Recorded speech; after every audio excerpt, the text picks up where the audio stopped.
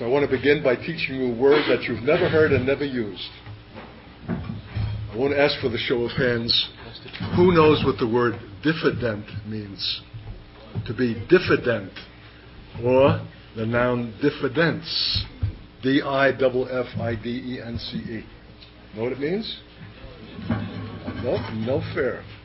No for anybody who's, who's been in other schools. Huh? Those who. I'll give you a brief definition. Diffidence is where you believe yourself to be wrong even when you're right. Diffidence is an attitude that even when you're right, you're wrong. Can you understand that? Would to God that that were a conspicuous trait of the church rather than this bumptious conceit when we're right. We're wrong when we're right, if that's the attitude with which we express it. But to be right and see yourself as wrong is pleasing in the Lord's sight. That's humility, that's diffidence, that's gracious, allowing that however persuaded you are, you're willing you consider that you might well be wrong, even though you're right. And even though you prayed and fasted, there's no guarantee that what you're going to speak or do is sanctioned or given of God. I know because I've tried to twist God's arm by fasting yeah. as if to persuade Him to confirm what I think I need to say or do. So, um, file that word and rehearse it and consider it and uh, ask the Lord to give you the grace to be diffident that even when you're persuaded you're right, you're also acknowledge that you're wrong. That's, that's appropriate to our humanity. And ironically, the subject this morning is the mystery of incarnation. The issue of Jesus being both God and man. The Council of Chalcedon, do I pronounce it correctly, Rog? Uh-huh. about 400 AD, had to wrestle through the issue of how could Jesus be both man and God? If he was not man, if, he, um, if you deny his manhood, you take away from God the sacrifice and the servant and the suffering servant and the priestliness and the identification that Jesus has with his people in his humanity. But if you take away his deity, then he's only merely man. How could God allow himself to be crucified? Can God die at the cross? These were staggering questions that were coming to the church as a great challenge and threat of heresy. Those who denied the humanity of God, I think they were called D-O-C... Docetists. Docetists. Docetism. And those who denied the, the uh, divinity of Christ were guilty of the other side of the same coin. Huh? The Arians. Arians. So there was a remarkable thing that threatened the church in its early history. And so the great church councils, Council of Nicaea that preceded it, the Council of Chalcedon, defined and wrestled through these questions. They gathered up the theologians and churchmen of that time and heard them out and debated and finally came up with a statement that a lot of which is uh, expressed now in the confession. What do we call it? The apostolic, the Apostles' Creed. The creed is the summation of the findings of many of these church councils. And the phrase, very God, very man, comes out of the Council of Chalcedon. That he, Jesus was both very God and very man. Well, who has ever heard of, of that? It's unprecedented. History has never provided an example of God and man in the same person. How important is that? Could the messianic ministry of Jesus be fulfilled if he were not a man? Could it have been valid if he were not God? If he were only man? And so, how can both function in the same personality at the same time is a staggering conundrum not only about Jesus, but about ourselves. Because the issue of incarnation is the issue still. What do we say? Christ in us, the hope of glory? If Christ is in us, That's deity. And us is humanity. So we are faced with the same essential issue in our own walk as is represented by Jesus in his. And is that not the reason why he's called the pattern son? That he has gone before us to show us that there's a way in which deity and humanity can be in union. And in fact, if they are not, then there's no true manhood. It takes God to be a man. Not just by shoring us up, by, but by infusing us with those divine qualities that bring us to a full humanity. That man without God is bestial. We've seen that in our modern history. The most celebrated of civilizations was reduced to bestiality with, without pity. And we're told in the last days a whole generation is being raised up without natural affection, without, uh, how does it say, without gratitude, um, disrespectful to parents, ungodly, um, seek lovers of self rather than lovers of God, without natural affection, without the capacity for pity or, or, or compassion, cruel. They, they have lost the, their human distinctive. And the remarkable thing is, when man loses his human distinctive, he sinks below the level of an animal. He performs those things for which we would never expect an animal to perform, and they don't. But man, robbed of his humanity, becomes a grotesque, becomes less than a beast. And to what degree then does manhood, real manhood, require divinity? Can you be a man without God? I'm not talking about just wearing pants. What, what does man mean and to be human? What the qualities?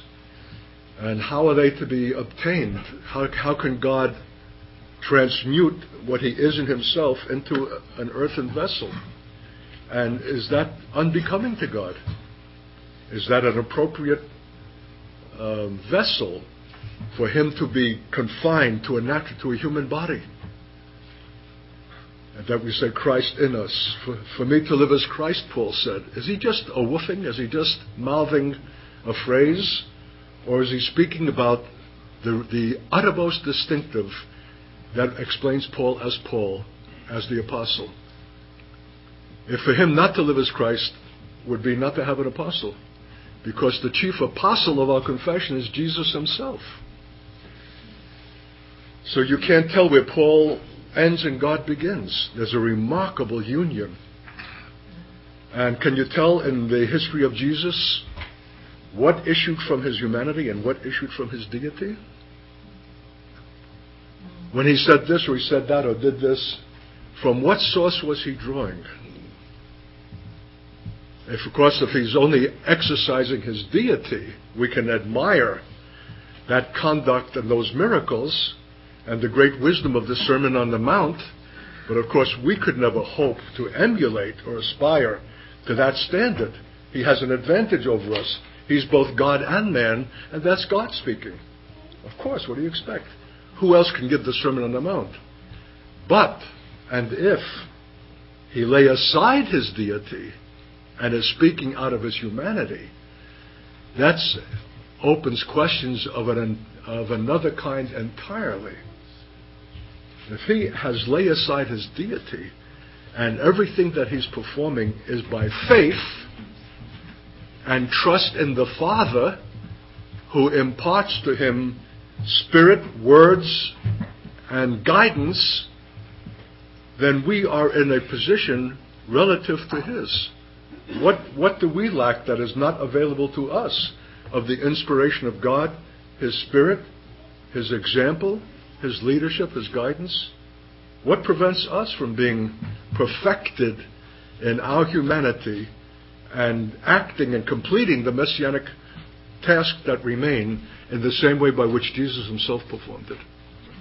Don't think that the issue is over. It's still a very live issue. Uh, John Murray, the Reform theologian from whom I quoted in the first week of the school, is dead against believing that Jesus forsook his deity. because God cannot cease from being God. So how can, how can he lay aside his deity?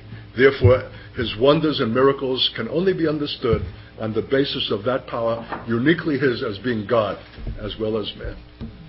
But let's take a look at Ephesians chapter 2. In the classic text that speaks about laying aside. Philippians, what did I say? Oh, I meant Philippians. I'm reading from the uh, Phillips edition that came out some years ago. J.B. Phillips, Letters to the Young Churches, a kind of um, paraphrasing of the scriptures in contemporary English. And sometimes when you hear it that way, you catch it in a way that is unfamiliar and penetrates the more deeply. My translation adds a significant phrase. And having become man, he humbled himself by living a life of utter obedience, even to the extent of dying. And the death he died was the death of a common criminal. And having become man, he humbled himself. Let, me read the whole Phillips translation of that statement. Let Christ himself be your example as to what your attitude should be. See, why are we taking up the subject? Is it just historical curiosity? Or we want to learn of the early controversies of the church that were resolved in the great church crises and uh, councils? Or is there still an issue? And how does it pertain to us? It makes a world of difference if Jesus had an advantage over us that we can't employ. And God cannot have an expectation that we should walk as He walked. But if He walked in His humanity, then God has every right to expect a comparable kind of walk from us. So we have to wrestle through this question for its remarkable implications. And so here's Paul exhorting the church let Christ himself be your example as to what your attitude should be. For he, who had always been God by nature, did not cling to his prerogatives as God or as God's equal, but stripped himself of all privileges. Some, I think some of your translations say he emptied himself. How many, how many, how many raise your hand if yours, yours says he, he emptied himself? Does anybody have some other word rather than strip or empty in their version? I kind of prefer stripped or emptied because it's a very graphic picture of a man who had every right in his deity to have certain things intrinsic to his life, but voided them and emptied himself. Uh, another author who I'll be bringing to our table next week, P.T. Forsyth, said, That's the very evidence of God. Only God would have the power to empty himself of his godness. See, I mean? a man could not do that. But God can do that and that he did do it in order to perform something of a kind that would have a lasting significance into the very present day, into the end of the age. This is humility. You know, it's humility for God to take the form of a man. Uh, are you humbled by being a man? How many times do you have to go to the boys' room? And when you reach my age, even having gone, you still continue to dribble. Excuse, excuse the, uh, the reality. It's embarrassing. Would to God we had a glorified body already where the valve shuts off when it should. a body is an embarrassment. Paul could hardly bear it. He wanted to shock off and, and be clothed upon with a heavenly tent.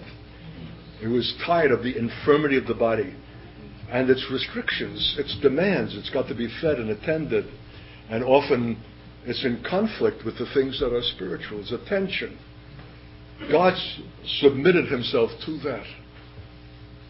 We don't appreciate the cross until we understand that in order for the cross to have its work, God had to come in the form of a man and had to empty himself of his divine prerogatives and privileges, even of his power, in order to suffer what could only be inflicted upon him in the weakness of a man. Elsewhere it says he was crucified in weakness. How can God be weak? unless he has forfeited his strength. And that he would do it for us is a remarkable statement of God. That's why the cross is the revelation of the righteousness of God. Because he emptied himself. He, even coming down from heaven, the pre incarnate life of Christ is a neglected subject of the church. We think that he began with Mary. No, he had an eternal existence with the Father long before he took upon himself human form. And to forfeit that long experience and come down into the earth and come out as a baby, dependent upon parents, wholly weak, and, and all of the things which children are totally dependent, is an unbelievable humility for God Himself to perform. Right. But the benefits of His godness, Yeah. that he, he emptied Himself, so that He would be wholly cast upon the Father for every provision to fulfill His earthly call. He would have to be a man of the Spirit. He'd have to be a man of faith. He would have to pray. He would have to go through the tensions and struggles that we do, discerning, is it God or is it me? Of the kind that we ex- experienced this morning. That's a tension, that's a conflict, that's a humiliation. When you lay aside divine prerogative that would always be absolutely perfect and act out of a humanity that is variable and and um, questionable and frail that you never know with certainty, and yet he had to perform certain things with utter exactitude, overturning the money changers' tables. That word to that uh, the Gentile woman about crumbs from off the Lord's table. There were significant moments. Every moment in the life of Jesus is significant. What he said and did in any moment can make or break his messianic claim. As, for example, he went to his death as a lamb to the slaughter silently. If he but said one thing, if he allowed his human irritation to be vexed by being mocked by his people in his suffering when you're most vulnerable, the whole testimony written seven centuries before in Isaiah would be invalidated and his claim as Messiah would be negated. If he had said one word, he went to his death silently. He had something to fulfill, and he fulfilled it perfectly. But if he did all that in his humanity, what a remarkable testimony to the relationship that he had with the Father, to his own dependence and trust of the Father, even for his own resurrection. That he had to live by faith, that he had to be up early praying to, to, catch the sense of the Father's heart and to trust for the enablement to, to walk as he was required to walk. These are all issues for us, that, uh, for which reason we're taking it up. So he emptied himself of all privilege by consenting not only to be a man, we need to ask the question when the devils were obedient unto him, have you come before the time? Uh, when he was able to cast out that which his disciples could not cast out, was he then employing his deity and its authority? Or did he come to an appropriation of an authority with God by his walk that was effective in casting out those demons? Got the idea? The latter.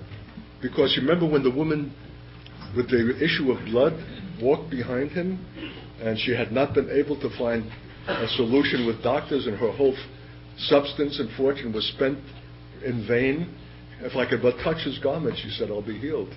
And he was in the press of a crowd. And she touched his garment and was healed. But he knew in that moment, someone touched me. They said, What are you talking about? There are people crowding all over. But he said, I felt the virtue go out from me. That virtue was the healing power of God. But if it, if it was God, how could it go out? It would always be constant. God cannot be subtracted from God. But if it was something cumulative, and I'm raising this as a question, not as a thus saith the Lord, that he obtained by successive obediences, so that what we call virtue is the residue of God that, it, that exists as authority by, by, in light of your history of faithfulness. That when she touched him, that's the power that went out from him. It was a residue of, of what re- one receives in obedience. Well, how do you mean that, Katz? Because it says the Holy Spirit is given to them that obey him. Why? Because we need the power for obedience. God never calls us to an obedience that we can perform out of ourselves. Look, man, no hands. Every obedience which God calls us is beyond our human ability. And therefore, we're, we're cast upon God, and in our Son's determination to honor God by obeying, He grants His Spirit. And so I'm raising the question that when the Spirit is given in obedience, what else comes with the Spirit that is retained even after the power of the Spirit has been expended in the obedience? But uh, there are thought, these are thoughts we need to consider. That something remains because the Spirit of God is not just an abstract energy. The Spirit of God is God. It's the Ruach HaKodesh. It's the Spirit of holiness, which is to say, the moral character of God is imbued in the Spirit. So when He extends His Spirit for an obedience, it performs it, but the, the reality, the character of what came remains. And, and so successive obediences form something of a cumulative kind that Jesus felt went out from him when she touched him. And the early English language, in some Bibles they don't even say virtue, but in some of the others, his virtue went out from him. Well, I love the word virtue. Well, you know the kind of guy I am. I like the word diffident. I like the word virtue. I like all words that have moral connotations. I even like the word moral. Because if you take the word moral out of our vocabulary, out of our speech, out of our consciousness, and out of our conduct, we are no longer man. We're an animal. That's exactly what makes man man is the moral quotient. No other creature, no other animal thinks in moral terms or acts morally. It's our privilege. And it's the distinction that makes us human is our moral consideration. So I'm saying that virtue has a moral ring to it.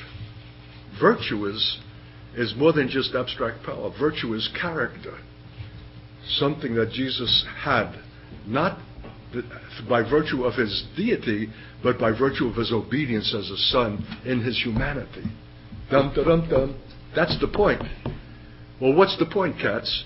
That if he had a virtue that could be tapped as power, not because of his deity, but because of his obedient humanity, what therefore is are we capable of having by our obedience? I would prefer to think that power should be related to character and not just be an entity unto itself that anyone can perform independent of what they really are and their moral character before God. Because charismatically, that's exactly what we have been seeing in modern times. The men of faith and power. But their lifestyle is not is hardly moral. They're living like barons and mansions and private jets and all the, all that kind of stuff. So contrary to the poverty of Paul and of Jesus himself. It raises significant questions, and yet they seem to e- express power. So many have heard this from me before. One of my most agonizing moments in my own history in a platform at Jerusalem in the 1970s with a lady then who was the most famed evangelist of her generation that brought her catches with her men who caught the bodies that fell, and uh, the excitement when she reached behind the person being prayed for to touch the catcher, and the catcher went down. And the flashbulbs were popping in the excitement, and I'm standing four or five feet away from this action. Uh, out of my skull, I, I'm anguishing in my soul at the visible evidence of power, bodies going down, and the complete absence of any sense of God's presence. The failure the power without a sense of God, that country, I, I, I took Inga by the hand, And before 4,000 people, I yanked her. We were on the platform. Off the platform and out the building. I couldn't bear to remain a moment longer. So I much prefer power in conjunction with character. And I believe that's what Jesus exhibited, and that's what sons are called to exhibit also. Power that is independent of character seems like a formula for deception. And we have a power hungry church that is not too scrupulous or concerned about what is the source of the power so long as they see the evidence of power. They want excitement, they want titillation, but they're not concerned with where it's coming from and, and through whom is it being expressed. I love, therefore, the episode of Jesus. Virtue has gone out from me. If it went out from you, dear Jesus, how did it come into you? If you lay aside your deity, your prerogatives, if you emptied yourself, if you did not exploit or employ your divine power, by what means then did it come into you as a man? Mm-hmm. These, this, this is why we're examining this subject. What's the implication for us? If Jesus did it all by his deity, well, we could admire that, but we couldn't hope to emulate that. And yet he's the pattern son bringing many sons to glory. And the word glory itself suggests God and His presence. Bringing sons to glory is bringing them to a place where they're in such union with the power of God as to demonstrate the glory of God, but not in any way to touch or misappropriate it for themselves. They can be trusted. If we are undiscerning and are not careful to ascertain the source and the vessel through which it's coming, we will be treated to demonic deception. In fact, we're told lying signs and wonders characterize the last days. They are actual wonders, but they're lying. Because they do not come from the source of God Himself, but His enemy, who appears to and presents himself as being from God to the, to the dupes who just want to enjoy the exhilarating sense of power because they're bored. In fact, can God be witnessed to and his image be expressed except through a man. God has always required a tabernacle or a temple. It was filled with his glory. The priests could not minister, they had to come out.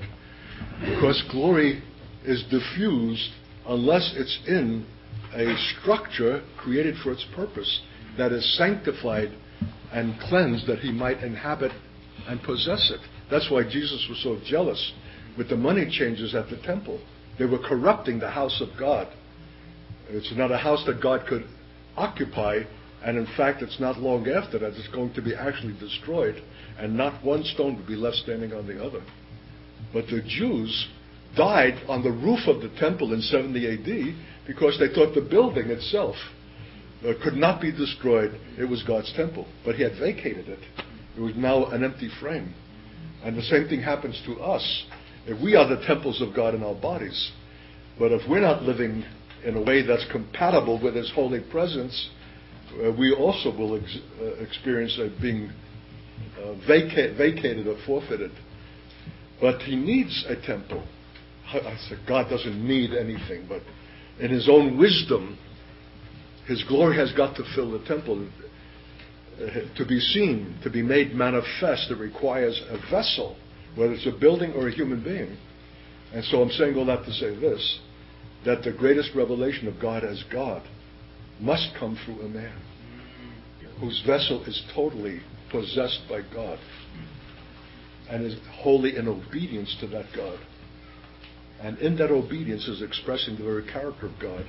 And that in fact, in laying aside his deity and his prerogatives, he's exhibiting God because God himself is humble that when Jesus took that towel and girded himself and took off his robe and, and drew water and washed the feet of his disciples, he was not just performing a novelty.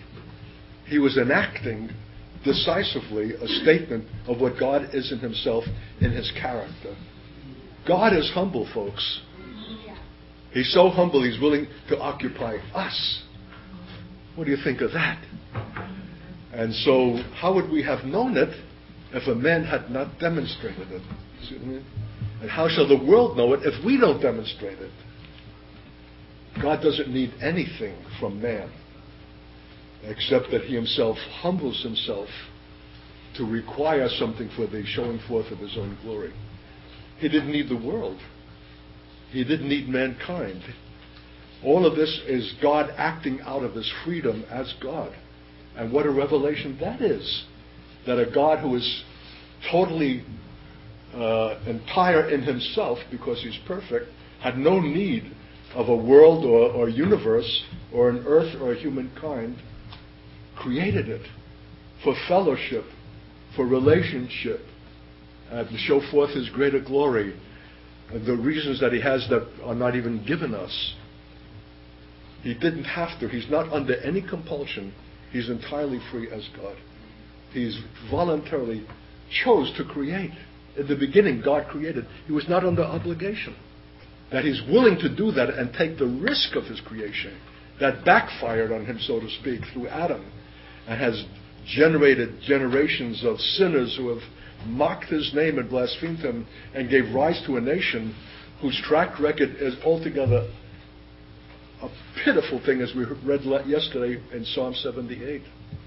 That, and that he foresaw and foreknew that this was going to cost him an anguish of soul, and yet he, it did not deter him from creating and bringing Israel into existence as a nation for his name. Or the church. How has the church failed him? So he's a sufferer. Moral anguish may be the greatest uh, form of suffering, even eclipsing the physical. God is a sufferer. God is humble. God is gracious and generous. He didn't have to share himself. He didn't have to create anything. He would still have been God and, and perfect and completed himself. Everything that he does exhibits him.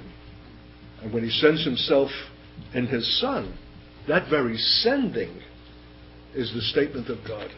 Because Jesus was not conscripted. He voluntarily agreed with the Father because the Father and the Son are one.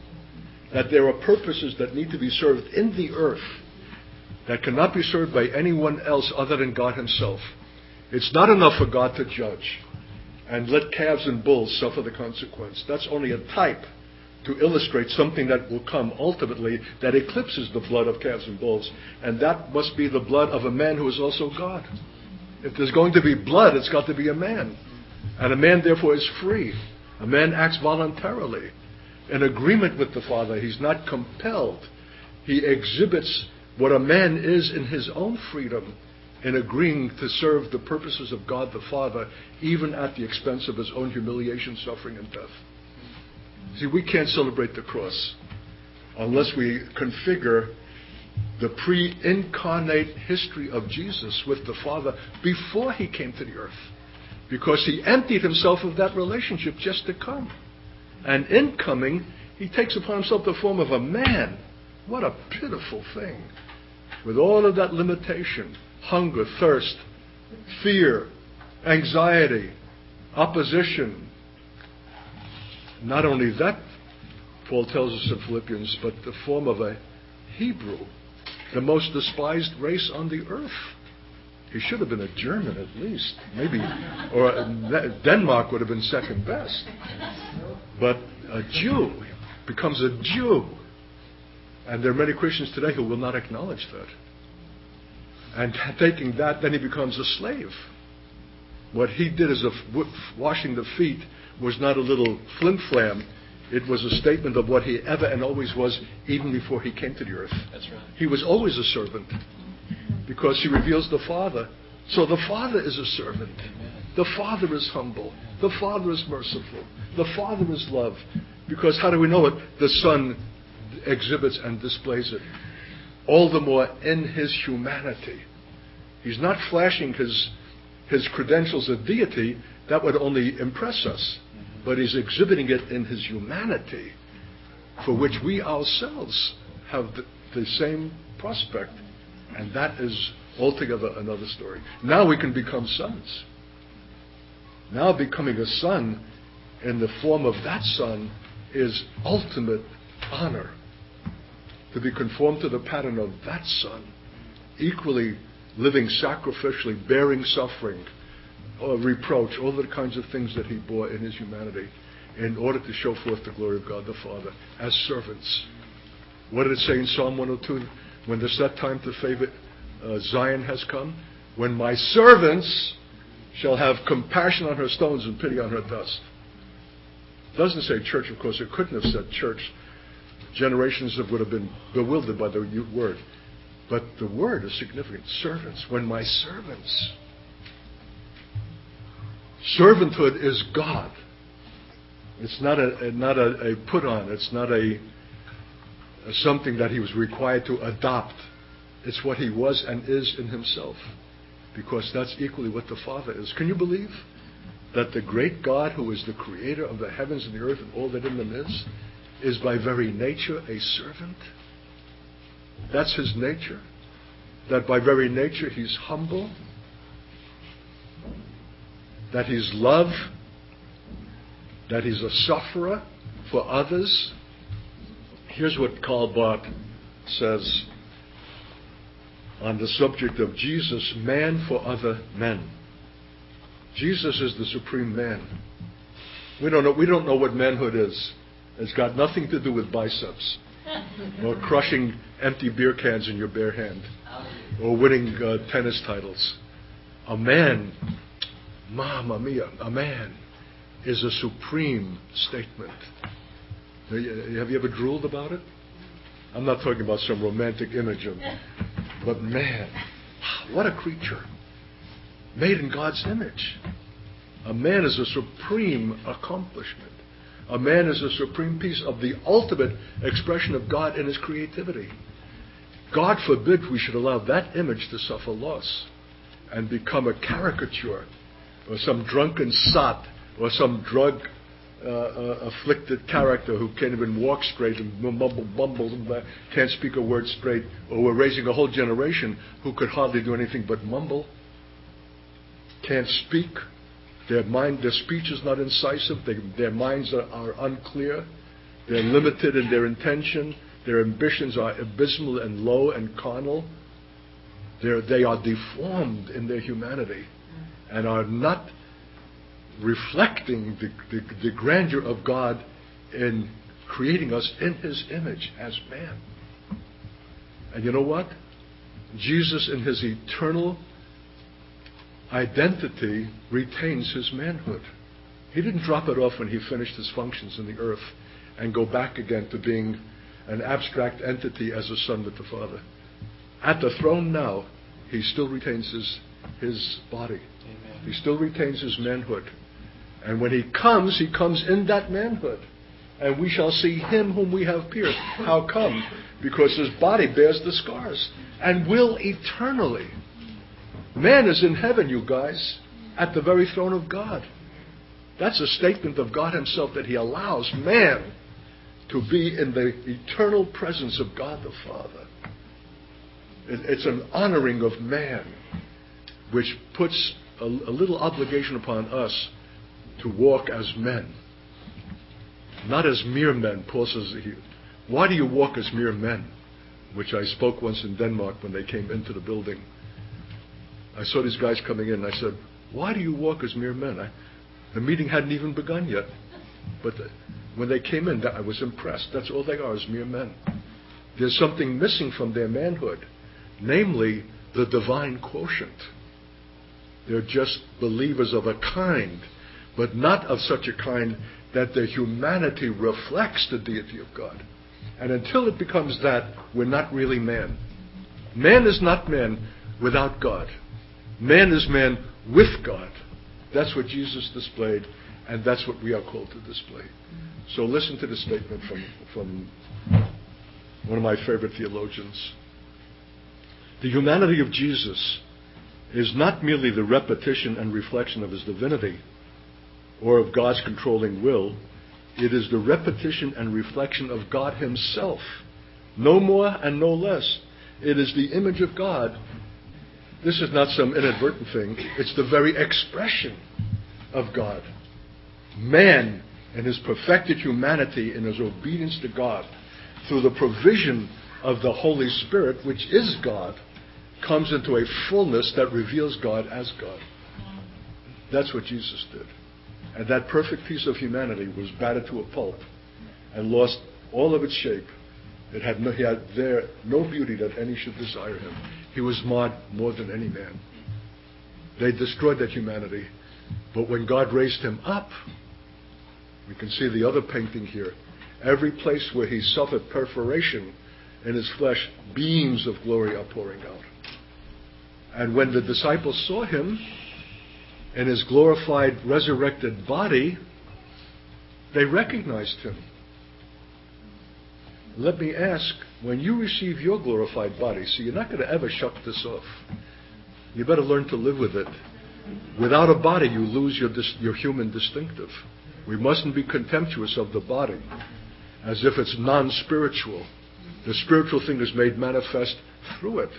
But we mustn't idolize it and pamper it, but respect it as a piece of God's creation and uniquely different with each one. So when, the, when, we, when the Lord comes and we shall see him as he is, in a twinkling of an eye in a moment, we shall be made like him. We shall be given glorified bodies. What does that mean? We shall all be stamped off the same production line. We will be given a glorified body of the body that we brought as a seed into the earth. Look at 1 Corinthians 15, disputing with those who thought that the resurrection was past. But in verse 20, but now is Christ risen from the dead and became the firstfruits of them that slept. For since by man came death, by man came also the resurrection of the dead. You know what I would do?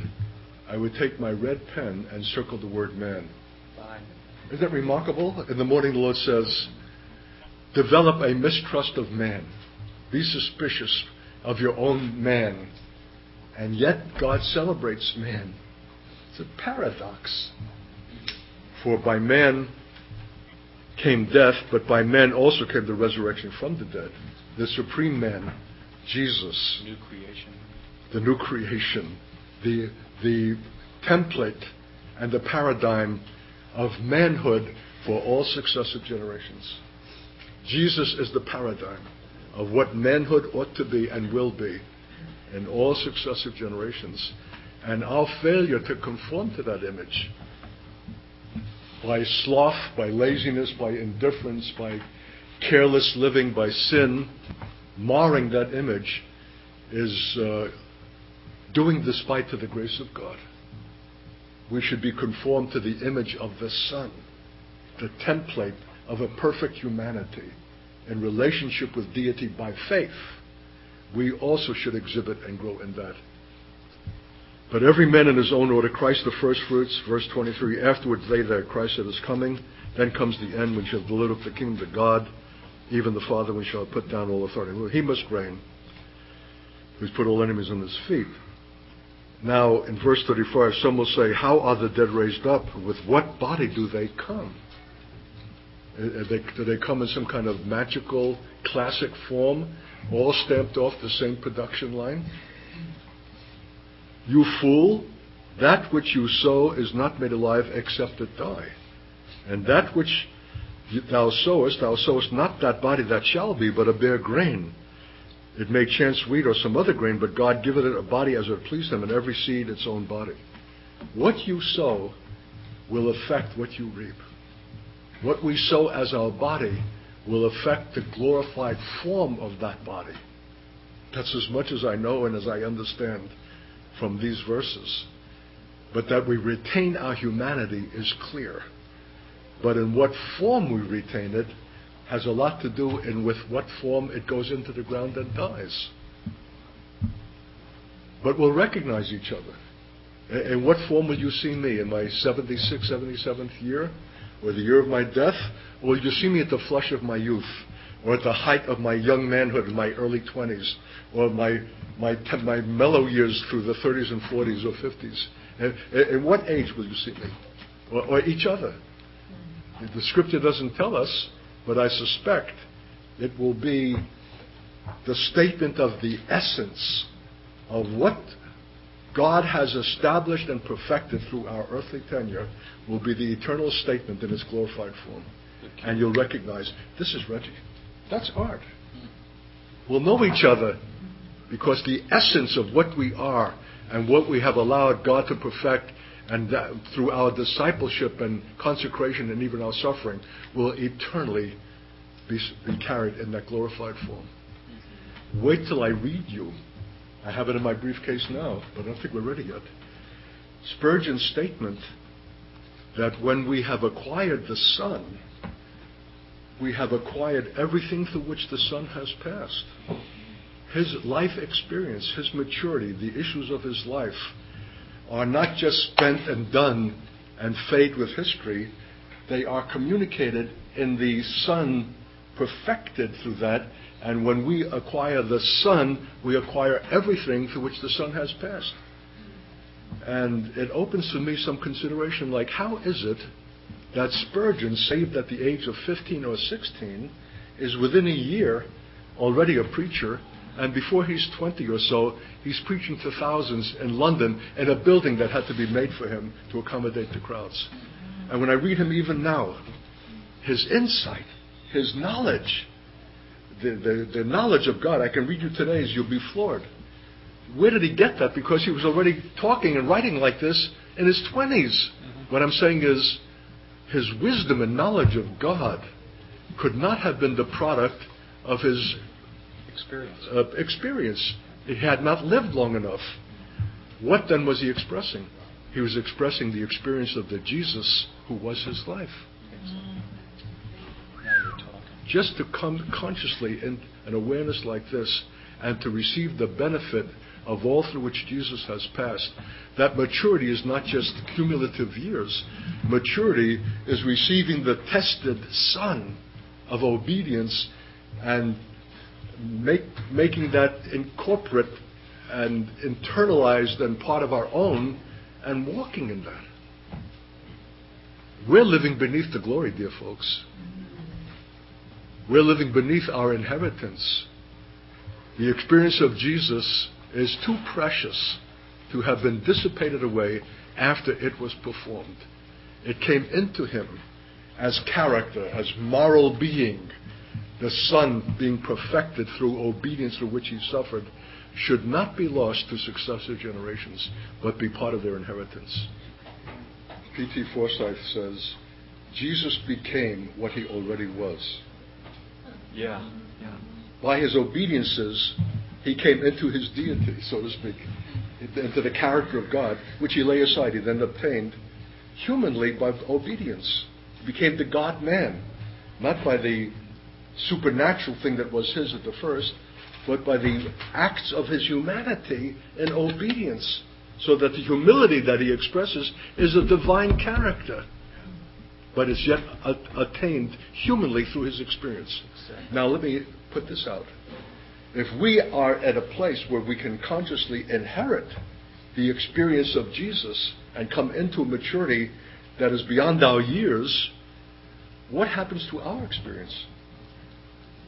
Huh? Am I 75, six years spent and gone, and no one will receive the benefit, and it all dissipates with the air? Or if does the same principle pertain to us?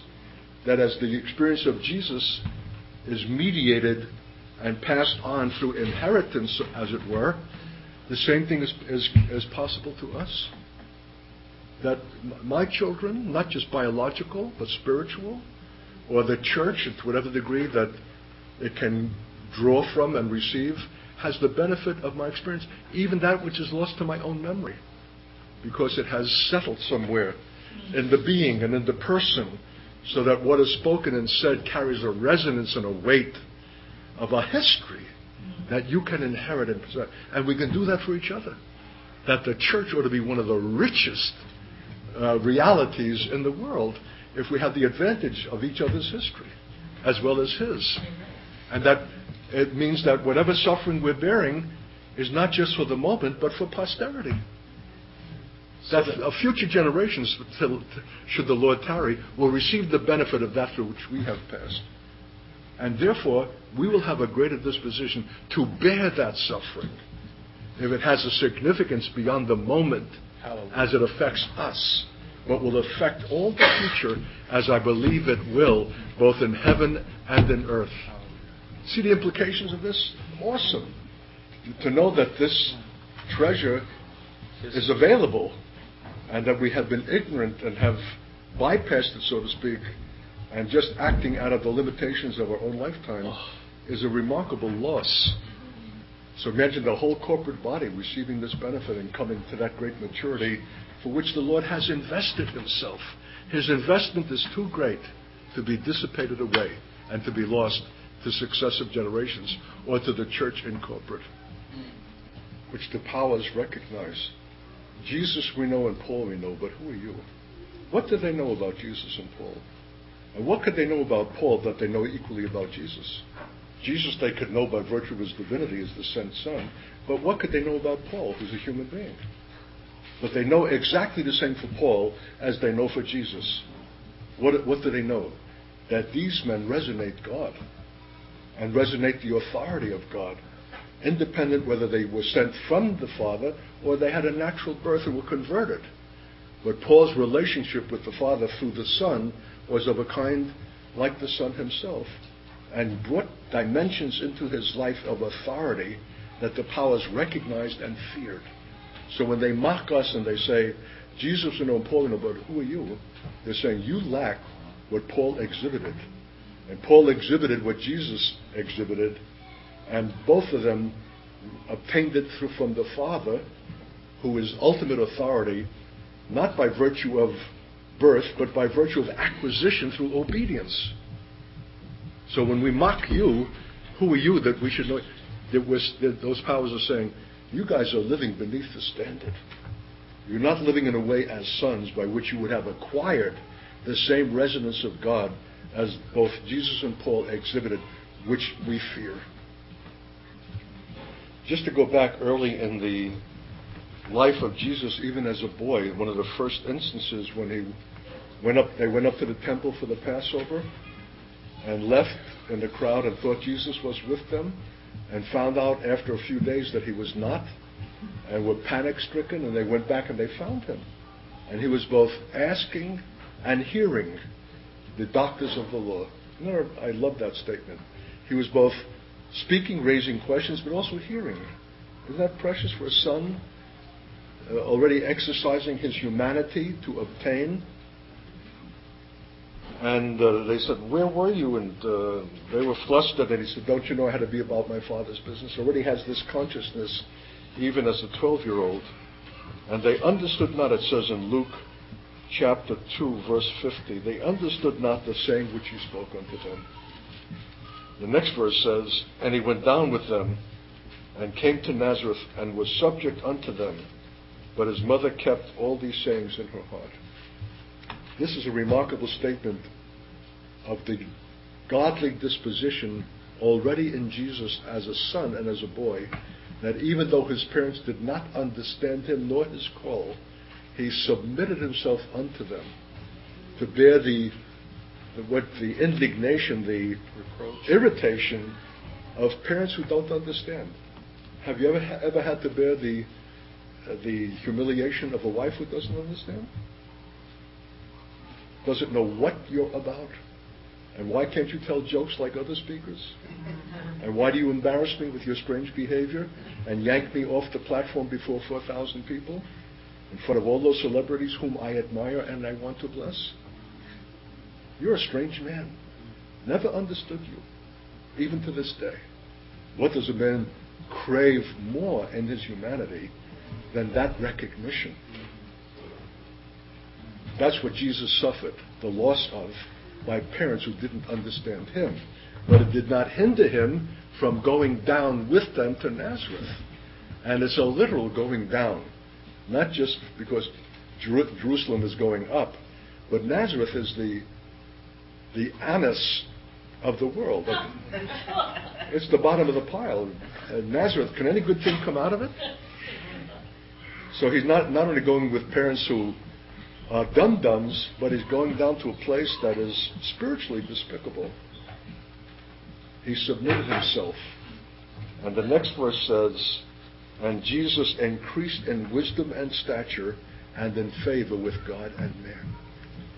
Just the words, Jesus increased, indicates that this is not some full-blown deity that can be tapped at will, but that's, it is as human as, as us in the prospect of growing and increasing or falling back or being depleted. He increased in wisdom and in stature by God and men, and he never stopped increasing. He increased all the way through the 33 years of his life, right to the final obedience in the Garden of Gethsemane and to the cross. He kept increasing in stature. He grew into his full deity, so to speak, through his human submission and humiliation was the key to increase. If that was his mode of increase, what is ours? Dun, dun, dun. Why haven't we increased? Because we're unwilling to go down. We're unwilling to suffer indignity or lack of appreciation or understanding or whatever our Nazareth is and whatever our unbelieving parents or spouses are. There's plenty of opportunity if we will go down. And evidently, that's the mode by which Jesus increased in his humanity. And it's the mode for us as well. You see why it's so important to come to some understanding of this mystery of incarnation, of God in the flesh. There's got to be a flesh, there's got to be God. And there's a dynamic and a tension of, of relationship, of discerning and being obedient to that God, in which He'll allow you to trip and falter, just to show you how delicate a thing it is, and that you, that you can't, in the last analysis, have an absolute confidence. Even if you have a 41 year history. The next time is as perilous and tremulous as the very first time you ever obeyed God. It never gets familiar. It's every time again as, a first time of fear and trembling. And yet, when the hour strikes, you've got to go up. You've got to obey. You can't cop out and say, I, I'm not sure. You're as sure as you're sure. And even when you speak, you're diffident because even if you're right, you're wrong. Got the idea, you guys? That sonship, Jesus demonstrated it. Why? So that we would have a pattern, as uh, Debbie said, a model. And Paul himself offered himself. Follow me as I follow Christ. Take my example to yourself and my ways. It's not a man boasting in his vanity. It's a man who's the replica of Jesus and his generation. Jesus has not ended. He's continuing in counsel and messianic value through a son who has voided everything and counted it as dung that he might win Christ. He's in the same relationship with the Father through Christ as Jesus was in his own body. That's why he can say, I don't receive this by, uh, how does he say it? By, I don't receive this as command. I, I offer you this as my opinion. And 2,000 years later, we are as fastidious and attending to what Paul gave as opinion as we do to what Paul received as commandment. That's how close the man was to God.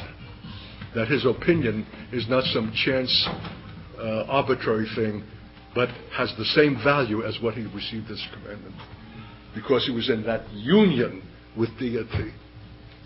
We avail ourselves of what God makes available, but we have the same necessity to come to a wilderness place of radical separation from everything and to have that union with God by which we're instructed. Jesus had to have a 30 year history in his humanity before his three year brief tenure and ministry. A 30 year investment for a three year use. What about us and our generation? We go to a three month discipleship school and boom, we're in ministry. Where, where is our investment? Where are we willing to be hidden and obscure and, and allow the Lord to instruct us in another kind of school before we ever take first steps in expressing ourselves? This is an instant generation, and everybody wants in three months to do, to do, and to be. That's why believers thought that I had died. Where, we haven't heard a thing about Art Katz. He was such a flash in the pan. This Jewish guy, he was soaring, and what a what a spokesman and anointed, and da da da. And we haven't heard of him Anybody know when did he die? Where? He was in the boondocks. Ten years out here without ministry. And even after the ten years, there are seasons in which God has shut me down for a year at a time. And there's no trip, no service, no ministry, no speaking. 14 months of sabbatical silence where I was not allowed to speak anything before the first message on the mystery of Israel in the church. So God has his ways of training us if we're willing to submit to death. Silence is death. The, the flesh yearns for activity. Why is it that when the priests were consecrated, and after much blood and sprinkling and washings and all kinds of things, the last requirement for their ordination is seven days waiting at the tent of meeting? Just twiddling their thumbs, doing nothing. And all Israel is looking on on that patent inactivity. Why? Because they're young. And there's an itch that needs yet to be brought into death, and waiting is a form of dying. A priest that will not wait is not a priest. A priest who's impetuous and has got to say and do because the thought comes to him, it must be God, has not yet been tempered. So we're rushing such young men into ministry. Youth for Christ. Um, youth with a mission. My brother said, How can youth even have a mission? you know, I admire, uh, there's not an organization that I admire more, but their very title indicates the temper of our evangelical age Youth with a Mission. There's another, there's Teenagers for Christ, and uh, because kids are bored and need something to do and go to exotic places and uh, but how are they instructing others who have not been instructed themselves? How can they give beyond the, the level of their own experience and maturity? So it's a marvel, even the good that has been done. And of course, many come to maturity in the very process. But there's a tinge of presumption that youth can have, have a mission. Why, even the priests, the Aaronic priests, could not begin their ministries until the same age in which Jesus began his 30. All those good years. Listen, at the age of 12, he was stupefying the priests and, and the doctors of the law. He had such sagacity, means wisdom, and confounded them in the remarkable understanding, but he had yet to wait 18 more years before he could express it. I want to tell you, dear saints, that 18 years was death. Jesus didn't have to wait for the cross to experience death. His whole lifetime is a, an experience of death even going down with unbelieving parents to Nazareth is death. But those deaths were obediences that sprung to life. So even the Aaronic priesthood could not commence its, its activity till the age of 30, till the age of maturity. And after 20 years, they're finished. They retire at the age of 50. They gave the cream of their choicest years to their service. The 30 years that preceded were preparation for the 20 years of activity and then retirement. What a, uh, what a mentality, so other than our own. We're doing, doing, doing, doing. But it's sound and fury that signifies little, if, if nothing, as Shakespeare said. So God can give you a wilderness behind the shades and curtains of your own home. If you'll submit to it and welcome it, but there must be a wilderness. There must be a radical separation. There must be a dealing of God in which you shut out those things that are distractions. And uh, God can actually send you into a physical place. He brought us here to Nowheresville. The travel agents didn't even know where LaPorte is. And uh, so the one way or the other. We've got to find our way back even to the pattern indicated by the Aaronic priesthood. Because even in the Melchizedek priesthood, it says that Jesus, being in the form of a Son of God, was without father, mother, ancestry, beginning or ending of days. What does it mean? He's separated from the most elementary, natural, soulish connections that, that are congruent to the life of men anywhere. Without father or mother, without ancestry, without beginning or ending of days. And what does it say? Uh, if he were in the earth, he would not be a priest at all. He was heavenly while in the earth. Paul's citizenship was in heaven while in the earth. Jesus could say to Nicodemus, uh, the Son of Man, no man ascends, no man descends, no man descends who has not first ascended even the Son of Man who is in heaven. Speaking of himself in Jerusalem, his feet on terra firma, to a man in that same city, saying, The Son of Man who is in heaven. How can he be in heaven while he's speaking to Nicodemus on earth? If you don't understand that, you don't understand the subject at hand. You don't understand the mystery of incarnation.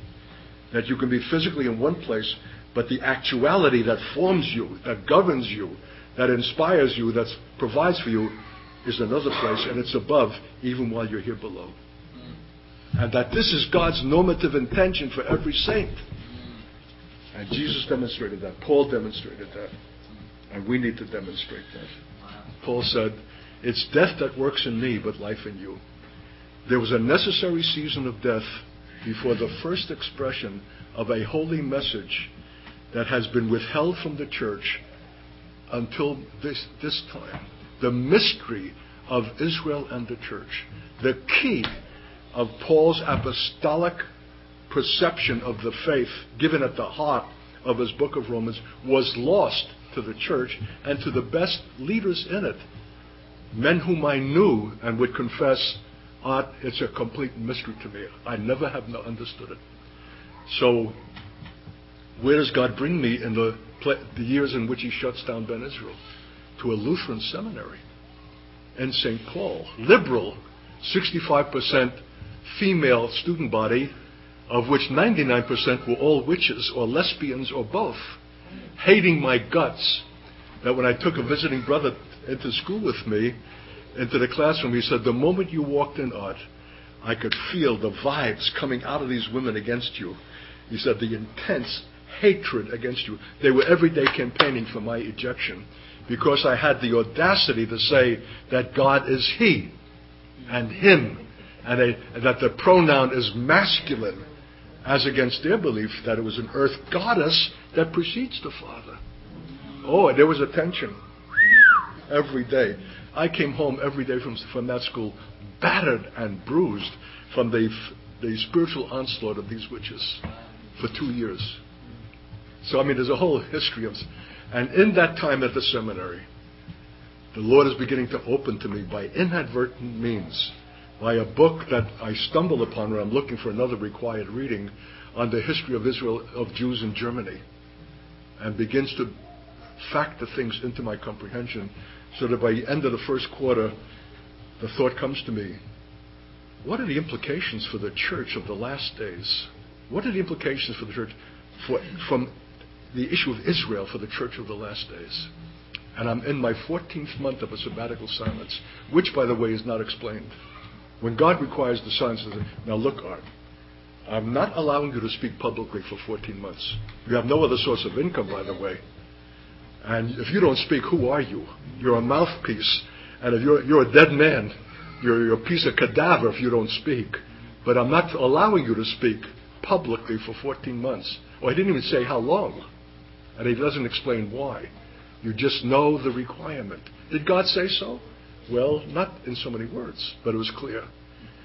But at the end of the 14 months at the school, I'm coming to the realization here, the Lord has shown me something. And what are the implications for the church in the last days with regard to the subject of Israel? And boom, the phone goes off, and some guy whom I don't know from Sacramento Art my name is Pastor so and so. We're praying here. We believe God wants you to speak to us a seminar on Israel and the church in the last days. Boing! I knew that the silence was over. See?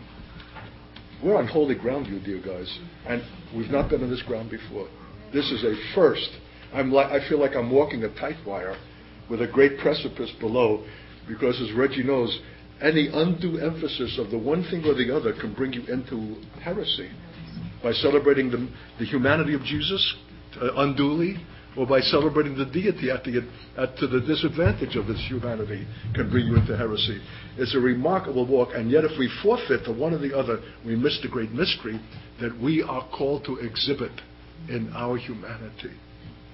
So, much prayer. That's why we fasted and prayed before the school began for several days, sensing that we were going to be called onto a new ground that we had never before explored. And we're on that ground right now. that as Jesus now is eternally the man, Christ Jesus, at the throne of the Father, and will come again in his humanity and in his scarred body, we also will eternally live with and, uh, and continue in the humanity that is ours. That God is willing for that is a remarkable statement of himself. That he's not embarrassed or offended, that in fact he's glorified. Many sons being brought to glory through the sonship or the maturity in their humanity, through the availability of God by faith in the Spirit, through the reality of resurrection. It's a remarkable thing, but we have not been stupefied and stunned and in awe over our calling and uh, in our humanity. And humanity itself has been depreciated. Man is becoming a slop and a slur and a caricature. And, and the enemy loves to mar man. He loves to make masculine men effeminate and, take, and, ma- and make women masculine. He wants to destroy the image of God. He wants to stultify and ruin and corrupt God, the image of man, because the image of man is the reflection of God. And we need to contend against it. And that's why in Africa, the message to the church was stand for what God has made in his image. Don't allow these black people to be made merchandise and to be subject to disease and ignorance. Go and, and uh, present yourself before the legislature and demand those things that are minimal and essential to human dignity of man as man. Whatever the cost to yourself, you have to stand for what is made in man's image. That was the message. So it needs to be our message also, whether we're in Africa or not. And to esteem our own humanity as the vehicle for God's, the revelation of His glory. So, Lord, precious God, oh, we're on new ground, my God. And somehow the morning prayer time has everything to do with the class time. It somehow fits. There's something here, the paradox of the, to be suspicious of what is in man, and the next breath to celebrate the humanity of man as the very vehicle for the revelation of God's glory. What a tension, what a contradiction, what a paradox is this faith.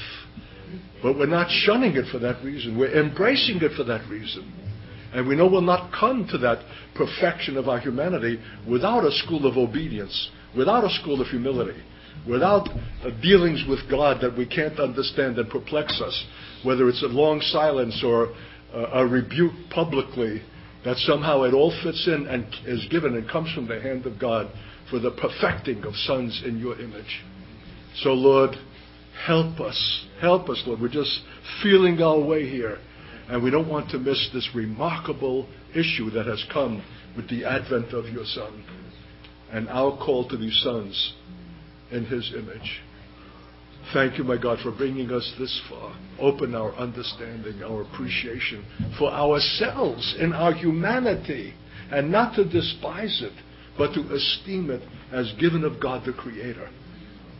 And so we're blessed, Lord. Thank you, my God. Help us to continue today and in these days and bring us all the way through in the things that we've been saying to you again and again in prayer. Not just head knowledge, Lord, but life change. We thank you and give you praise for privileged time as this. In Jesus' name, amen. amen.